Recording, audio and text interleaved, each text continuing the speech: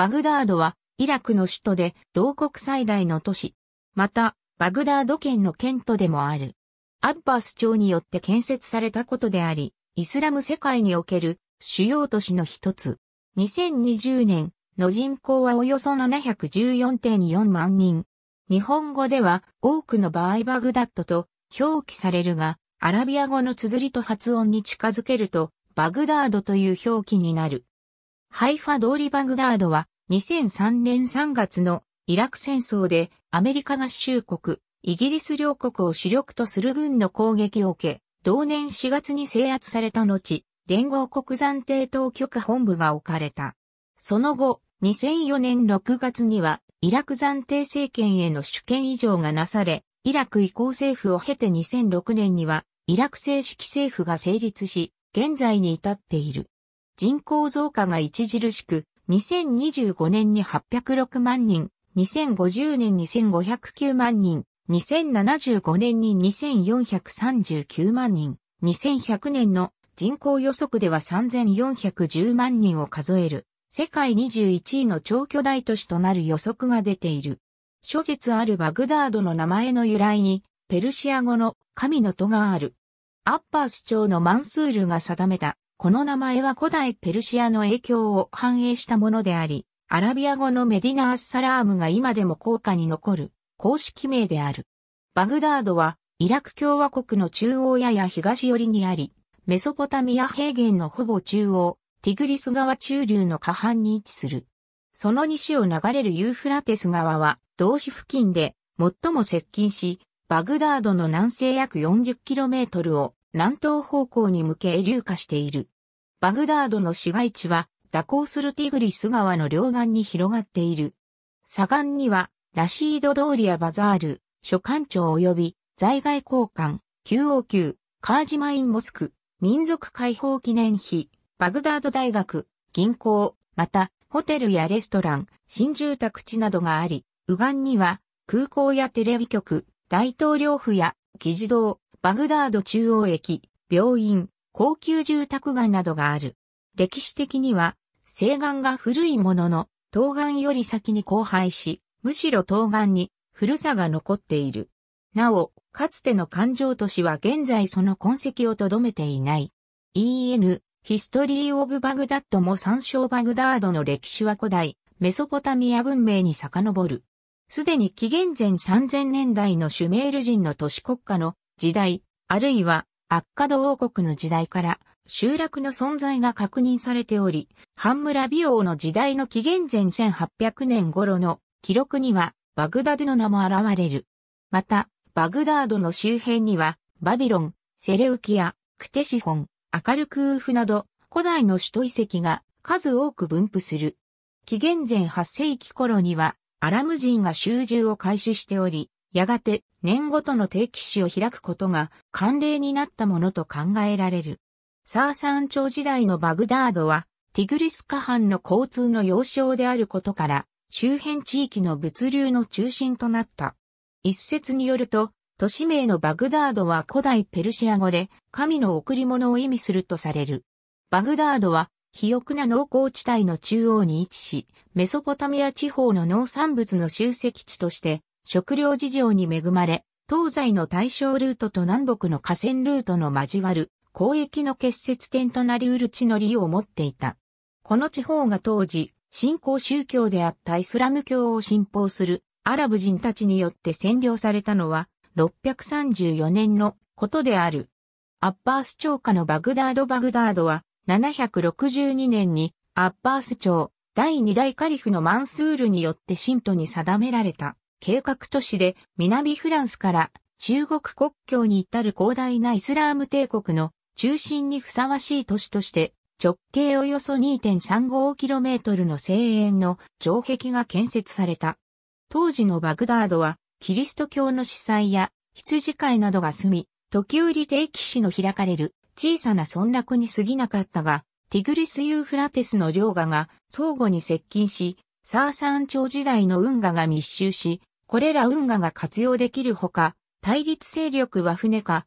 橋を用意しなければならないところから、首都として防衛するのが比較的容易なところから、神都建設地に選ばれた。イスラームの年代記によれば、マンスールは灰で巨大な円を描き、その円に沿って綿油と綿の実を巻いて火をつけ、やがて帝都となる地の全体を眺望したと言われる。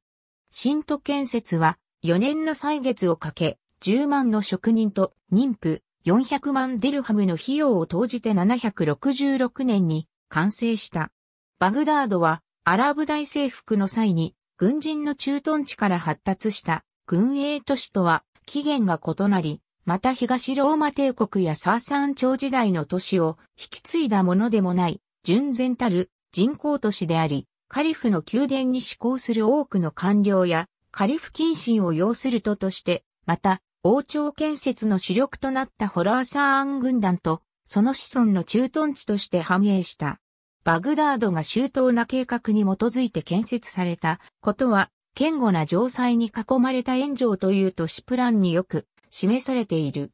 ティグリス川西岸に建設されたバグダードの城壁は三重に及び、炎上の内側にはカリフの誠意を内外に示すため、黄金モングルと称する宮殿やモスクが建てられ、それぞれのドームは高貴な色とされた緑色のタイルで覆われた。周囲には諸官庁、カリフ一族の館、親衛隊駐屯所などが並び、の4つの門を有していた。なお、炎上都市は、要する城壁が最小限でありながら、防御に際しては、資格がなく最大の効果を発揮するところに利点があった。城内に住んだのは、特権階級のみで、城壁と城壁の間が、その居住域となっており、商人や職人などの一般市民は場外に居住するよう定められた。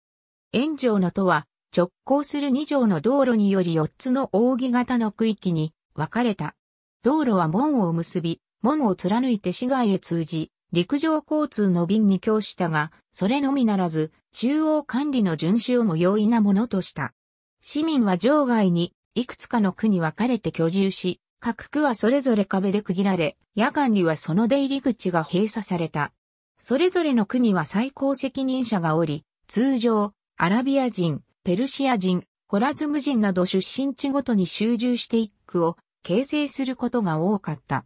第三代カリフのマフディの代には、ティグリス川東岸にも軍隊が置かれ、それに伴って商人や手工業者も数多く居住するようになって、東岸ルサーファ地区が形成され、ティグリス川に架かる船橋は行き交う人馬で賑わっていたという。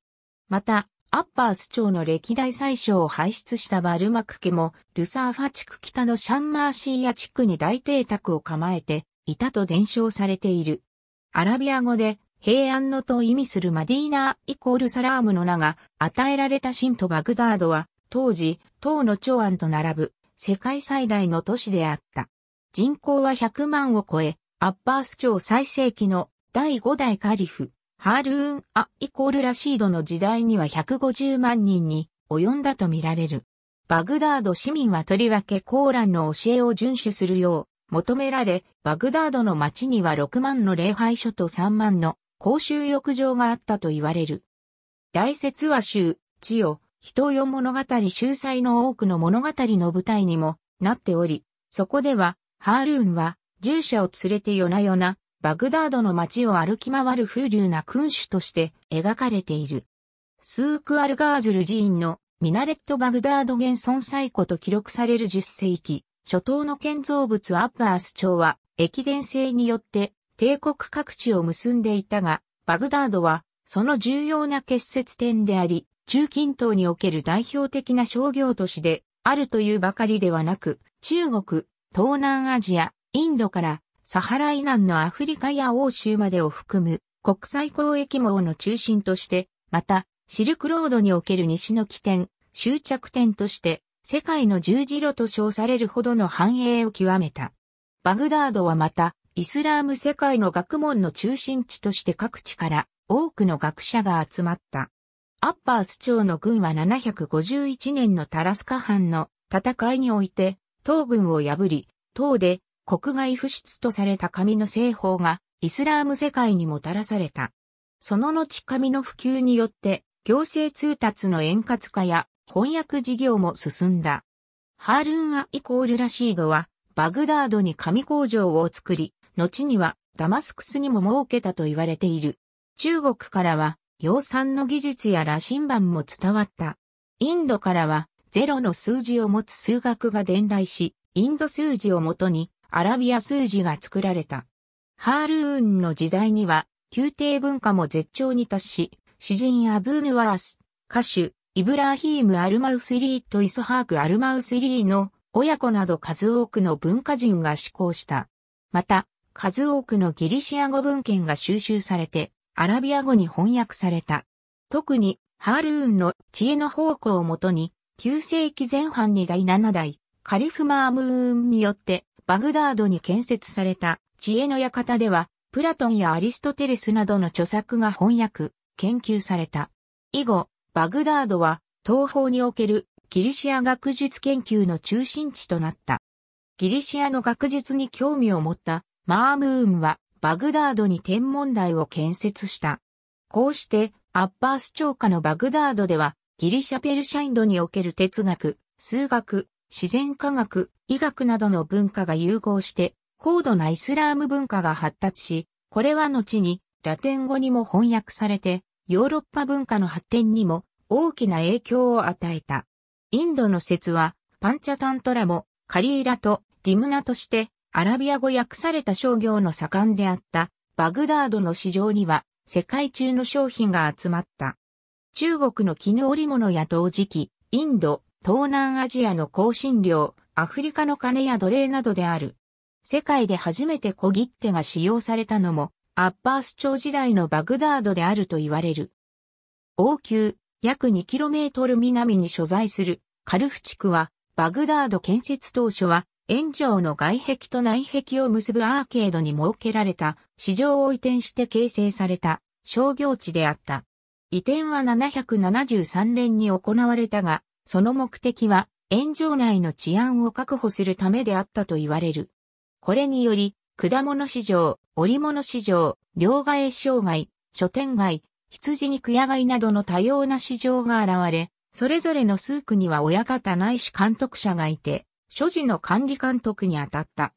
カルフ地区にはやがてシーア派を信奉する商工業者が集まり、イスラーム世界の先進技術を駆使した生産と小取引の一大中心地となっていった。当時のバグダードは、絹織物や綿織物、ガラス、金属工芸、刀剣、紙などが産品として著名であり、特に織物は各地に輸出されている。枠譜と言われる有力者による寄付行為も盛んに行われ、モスクや医療施設、市場が多数作られ、市場からの収益によって国府が増大した。特に医療面では世界初の総合病院が設けられている。イスラームの医学は、後の西洋医学に大きな影響を与えた。ハールンアイコールラシードの死後、二人の子の間に後継争いが生じ、炎上はその際、甚だしい損傷を受け、その後も完全には復旧されなかった。アミーンは歴代カリフの中でも教養豊かな人物であったが、ハルーンとの制約を破りイボニー・マームーンではなく、実施を後継に据えたために対立が生じたものであった。9世紀のムータスイムによる一時的なサーマッラーへの戦闘後もバグダードの繁栄は揺るぐことなく、むしろ都市の規模は拡大した。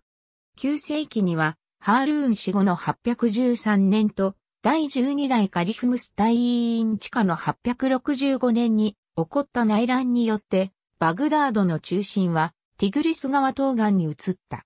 892年、首都は再びバグダードに戻されたが、王宮はティグリス東岸に置かれた。アッバース朝地下のバグダードの最盛期は9世紀から10世紀初頭にかけてと言われている。しかし、946年には12イマーム派を報ずる、ブワイフ朝のアフマドがバグダード入りして、カリフよりアミール・アルーマラーに任命されて政治の実権を奪い、10世紀後半以降はアッバース朝を支える軍人相互の構想、民衆暴動の頻発、洪水の頻発などによって次第に荒廃し始めた。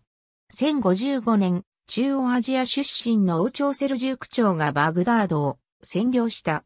セルジューク朝初代のトゥグリル・ベグはブワイフ朝のアミール・アルーマラーを追放して、その勢力を駆逐し、第26代カリフのカーイムより、スルタンの称号を受け、バグダードのカリフには忠誠を誓ったので、バグダード周辺は、バグダードカリフ領として、セルジューク朝及びホラズムシャー朝の時期を通じて、アッバース朝カリフの支配下にあった。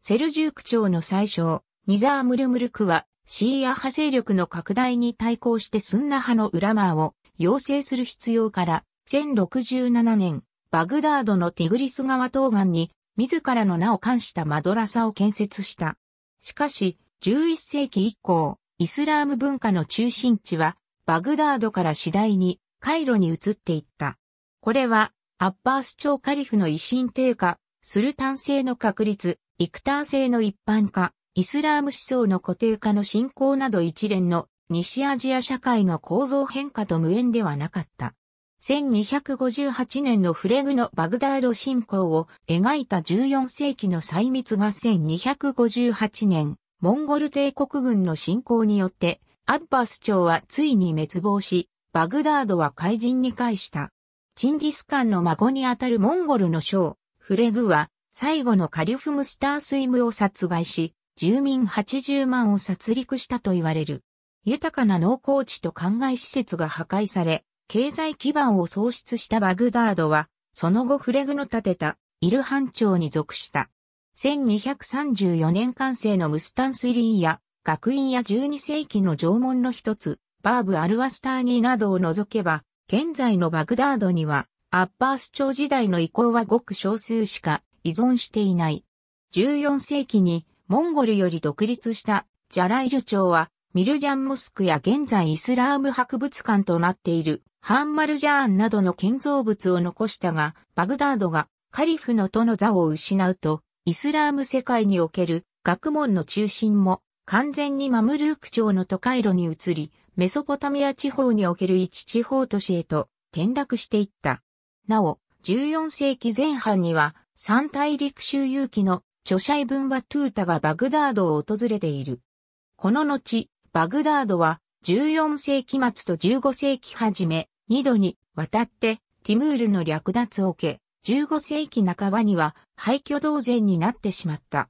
アッバス朝滅亡後のバグダードは、イルハン朝、ジャライルアサ、ティムール朝の支配を受けた後、1410年には、トゥルク系の黒羊朝、1469年からは、同じトゥルク系の白洋朝の支配を受け、16世紀から17世紀にかけてはトルコのオスマン朝のスルタンとペルシアのサファビー朝のシャートの間で争奪の対象となった。すなわち、1508年にはシャーイスマーイル一世のサファビー朝、1534年には皇帝スレーマン一世のオスマン帝国、1623年に、このような支配者交代は、バグダードがトルコとペルシアの両帝国の中間に立地していたことと、この地方のムスリムがスンナ派、シーア派に二分されたことにもよっている。しかし、この間バグダードは政治的には全く終焉の位置にあり、長期にわたって衰退した。17世紀中央以降は、オスマン帝国の支配下に入り、徐々にではあるが、次第に復興を遂げていった。18世紀初頭に任命されたメソポタミアの大使アフメット・パシャ及びハサン・パシャは、行政機構の内部にシルカシアジンマムルークの奴隷組織を組み込むことに成功し、バグダードをメソポタミア行政の中心地にすることに成功した。1930年のバグダード1798年、イギリスの召喚がバグダードに建設され、1802年には、その駐在官が領事としての地位を有するようになった。イギリス領事は、オスマン帝国の大主に次ぐ権限を与えられた。19世紀後半になると、オスマン帝国の凋落が著しくなったのに対し、ヨーロッパ大陸においては、従来小国分立の状態にあったドイツとイタリアにドイツ皇帝ビルヘルム2世は大海軍の建造に着手する一方、1899年にオスマン帝国からバグダード鉄道の敷設権を獲得して、ベルリン、イスタンブール、バグダードの3都市を結び、沿線に資本を投下することにより西アジア地域への勢力拡大を図った。しかし、この政策はイギリスの 3C 政策のみならず、ロシアの南下政策との対立を招いた。1914年に起こった第一次世界大戦は中近東の政治地図を塗り替えた。イギリスは大戦中の1915年、アラブ反乱を煽って、アラブの名門ハーシム家のフサイン・イブン・アリーに、マクマ本書館を手渡した。1917年、バグダードを含むイラク地方がイギリス軍に占領され、その後のドイツ・オスマン帝国の敗北によってサンバイト政策は頓挫した。戦後の1921年には、現在のイラクの領域に、イギリス委任統治領メソポタミアが成立して、イラク建国の準備がなされ、バグダードはその首都となった。1932年には委任統治が終了し、ハーシム家のファイサル一世を君主とするイラク王国が成立した。王宮はティグリス砂岩に建てられた。なお、オスマン帝国の一部であった1900年の段階では14万人だったバグダードの人口は、1950年には50万人に達している。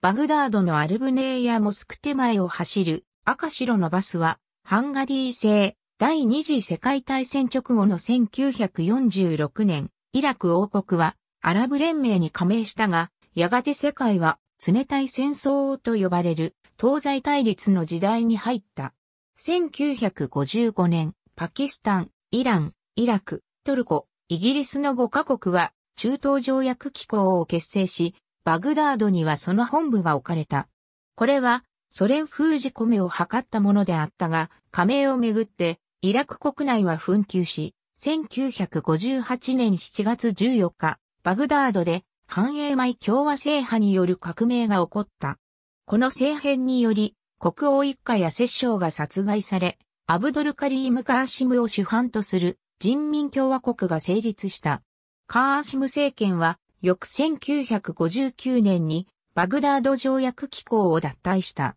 その後、1963年のバース島のクーデタ、1968年の同党による一党、独裁、1979年のサッダーム、フセイン政権の成立、1980年から1988年までのイラン・イラク戦争、1990年のクウェート侵攻とそれに続く1991年までの湾岸戦争、2003年のイラク戦争など政変、戦争が続いたが、バグダードはその間常にイラク政治の中心であった。なお、バグダード郊外のサドルシティはイスラム主義が影響力を持っており、カーシム時代に革命士としてイラク共産党の大臣ナジハ・アル・ダレイミーが建設したこともあって、かつてから反体制派が強いところであり、1963年のバース島のクーデタの際には、レジスタンス運動が起こり、フセイン政権下では、サダムシティと命名されていた。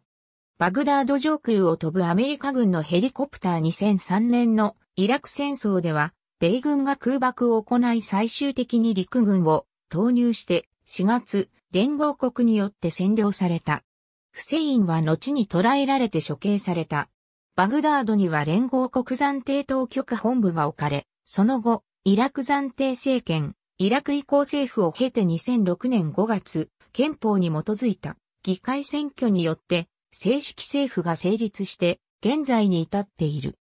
しかし、複雑な宗教、民族構成を反映して少数派が政治上の諸権利及び石油等の利権を要求し、イラク国民としてのアイデンティティが形成されない中、アメリカなど占領国の利害も絡み、アメリカ的民主主義への反発などから構想が続いている。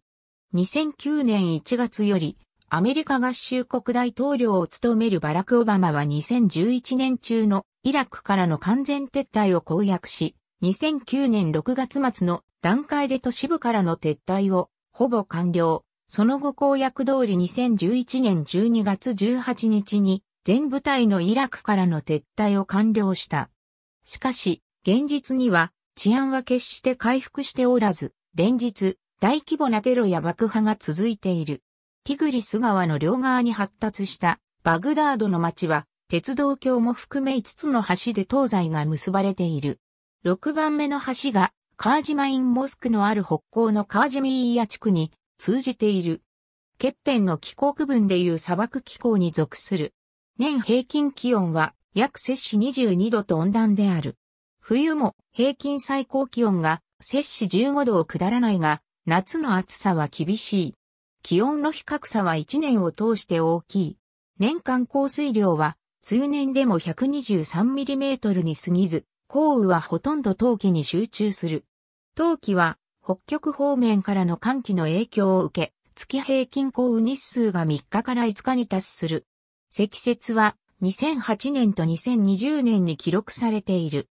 バグダードはその自然条件により、しばしば大洪水に見舞われ大きな被害を被ってきたが、ティグリス川上流のサーマッラーに治水用のダムが設けられたため、洪水によって甚大な被害を受ける危険からは救われた。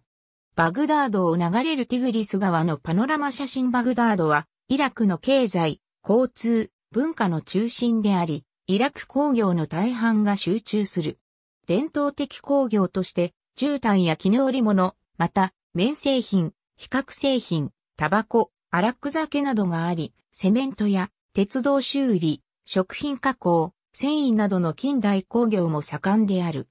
また、石油化学工業なども盛んであるが、イラン・イラク戦争や湾岸戦争など度重なる戦争で多くの施設が破壊されたこともあり、現在修復作業が盛んに行われている。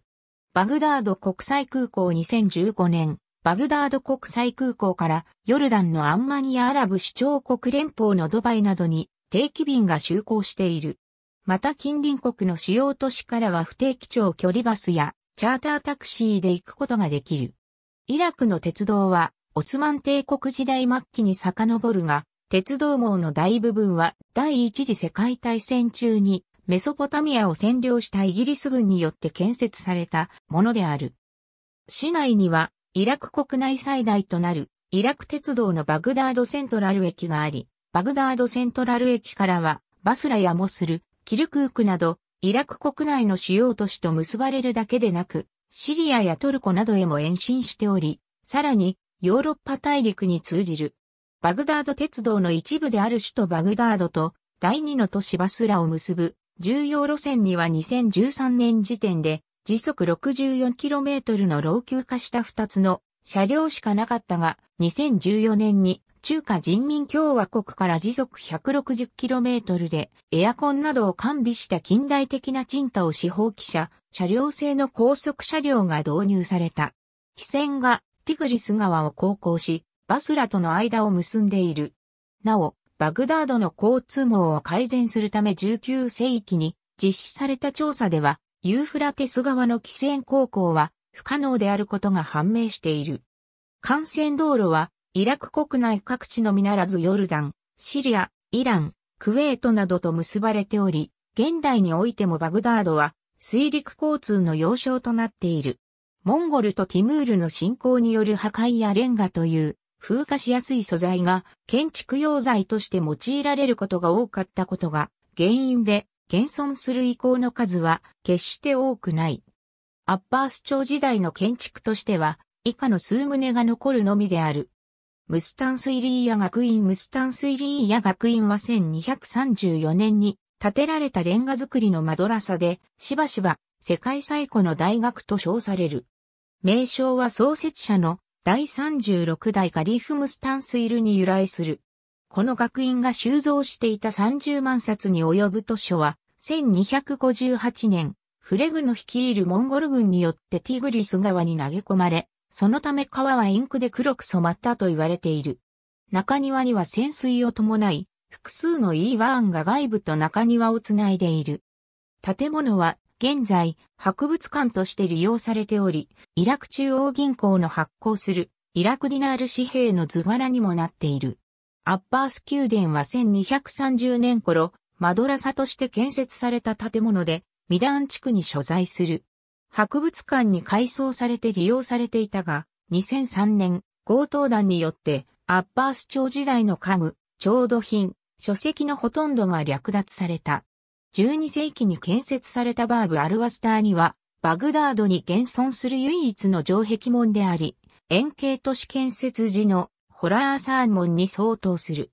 現在は戦争博物館になっている。スーク・アルガーズル寺院のミナレットは、市内で最も古い建造物で10世紀初頭の作と言われる。なお、スーク・アルガーズルとは、糸市場の意であり、現在は古い街並みを見下ろす位置にあるが、かつてはカリフのモスクの先頭であった。この先頭の階部分は未だ土にうずもれたままである。知ったズバイダの母島は1179年頃から1225年頃までの時期に建設されたもので、八角形の基台の上にムカルナス装飾を伴った三角錐の形状の塔を乗せた墓である。アッパース朝滅亡以後のものとしては、モスク、マドラサ、ポピョーよりなる、マルジャーニーヤ建築群やハーンとして用いられた、ハーンマルジャーンがあり、共に14世紀中葉の遺構である。イラク観光省の修復を経て、料亭としても用いられたハーンマルジャーンは、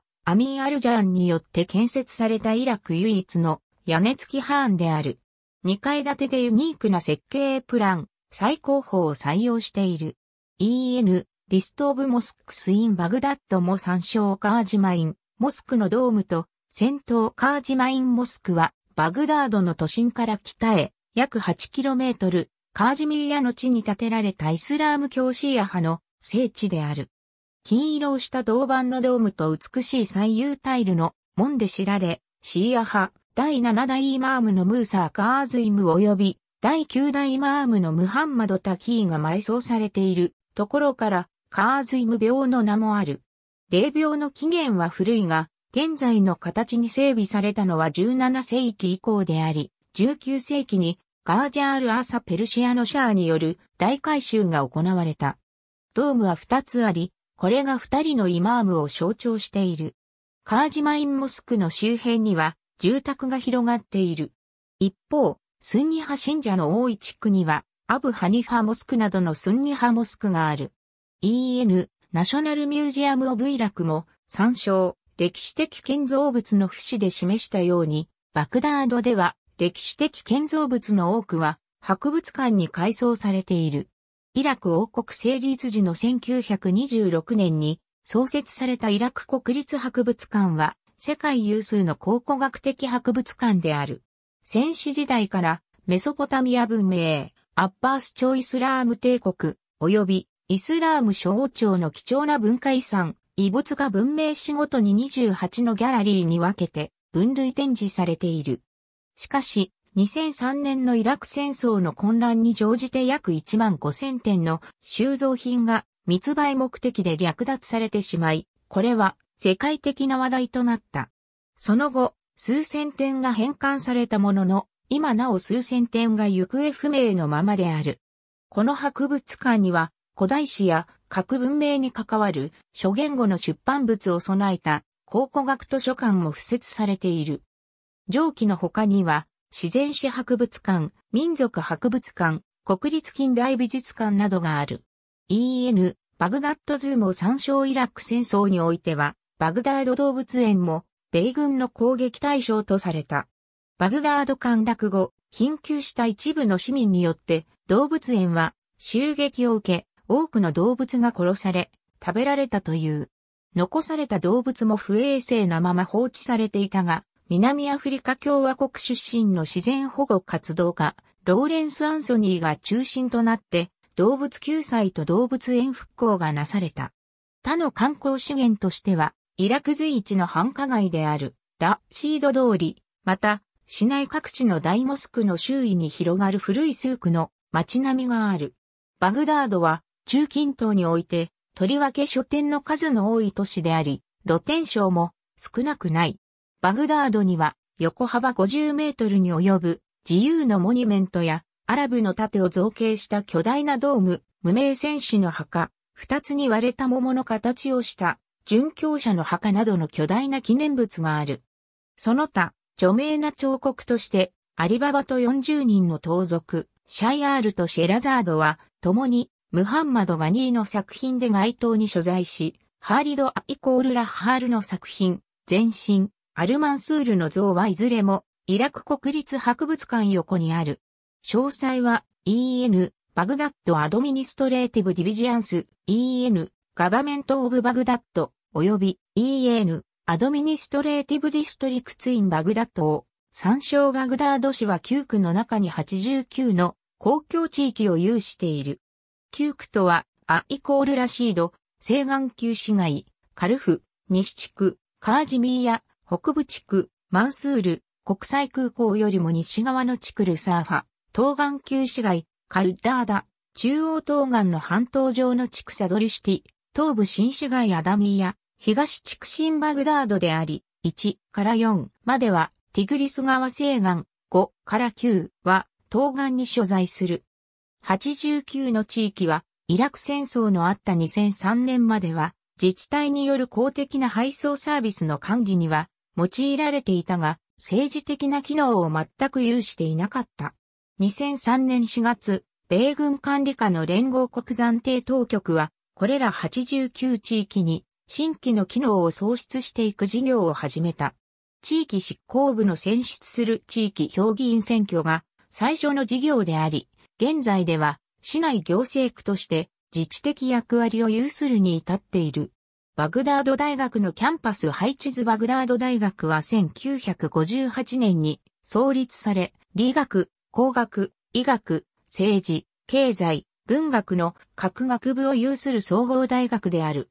現政権のジャワド・マリキやジャラル・タラバニ、フセイン政権時代のターハー・ムヒーウッディ・マールーフ、ラシード・ M.S. アル・リファイ、ターリク・ミハイル・アジーズ、ア・イコール・サッハーフ、ナージ・サブリー、アワド・ハマド・バンダル、ニザール・ハムドゥーン、アービド・ハーミド・マフムード、また、フセインの次男夫妻などは、バグダード大学の出身者である。アル・ムスタンスイリーヤ大学は、13世紀創設のマドラサ、ムスタンスイリーヤ学院の流れを組む総合大学である。他に、フセイン長男、ウダイの卒業したバグダード工科大学や、などがある。多くの催し物が開かれる、バグダードコンベンションセンター現在、バグダードで話されているアラビア語方言は、イラク国内の他の大都市の中心部で話される言葉とは異なり、より遊牧民的な特徴を持っている。